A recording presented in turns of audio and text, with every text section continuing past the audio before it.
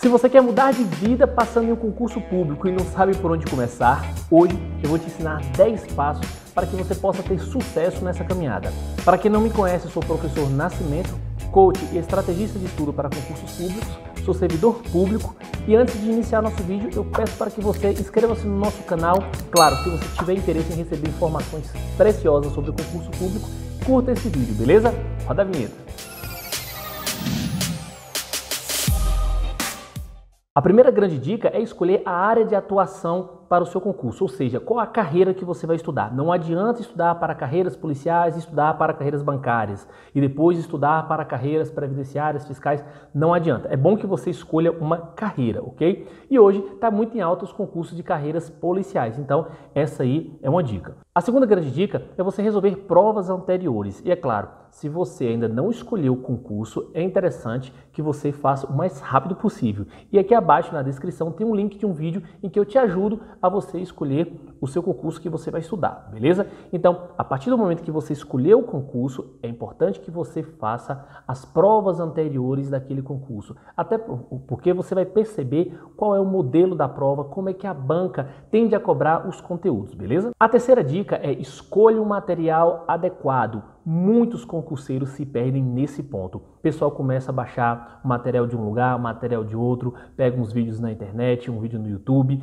e aí tem uma pancada de material na mão, mas não sabe por onde começar. Então, pessoal, é importante que você escolha um material adequado, focado no seu concurso. No nosso site, no concurseirelite.com.br, você vai encontrar material direcionado. Então, você tem um concurso da Polícia Militar, que aquele material foi gravado para aquele concurso da Polícia Militar. Você tem um concurso da PRF, que o material foi gravado para aquele concurso da Polícia Rodoviária Federal. Isso é extremamente importante, você ter um material adequado, focado exclusivo no seu concurso. A partir do momento que você já tem um material adequado, é importante que você siga agora a quarta dica, que é organizar o seu estudo. Então, organize não somente o seu estudo, mas quando é que você vai fazer questões, quando é que você vai fazer as revisões, ou seja, montar um cronograma de estudo é extremamente importante para o seu sucesso.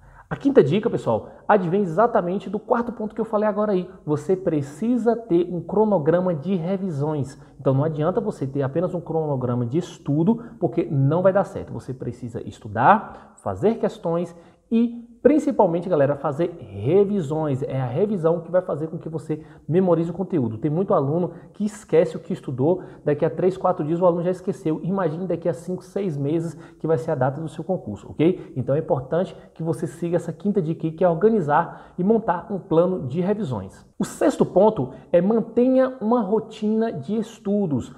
Muito concurseiro não consegue iniciar os estudos exatamente porque quer estudar 8 horas de um dia, aí no segundo dia já está quebrado, né, porque estudou muito no dia anterior, e aí falta um dia, falta dois, depois pega três horas de um dia, depois não estuda no outro. Pessoal, é igual academia, você precisa fazer todos os dias. Não adianta você pegar um dia e chegar lá na academia, pegar todos os aparelhos, pegar todos os pesos, porque no dia seguinte você vai estar todo quebrado. É a mesma coisa para concurso público. Então, para que você não desanime, o que, que eu oriento? Comece estudando uma horinha por dia. Então, uma hora na segunda, uma hora na terça, uma hora na quarta, e depois você vai aumentando de forma progressiva, beleza? Então, nada de querer estudar 8, 10 horas de vez, porque você vai desanimar, vai se desmotivar e vai parar de estudar. Então, o mais importante não é a quantidade de horas, e sim a criação de uma rotina, criação de um hábito. O sétimo ponto é prepare o seu ambiente de estudo.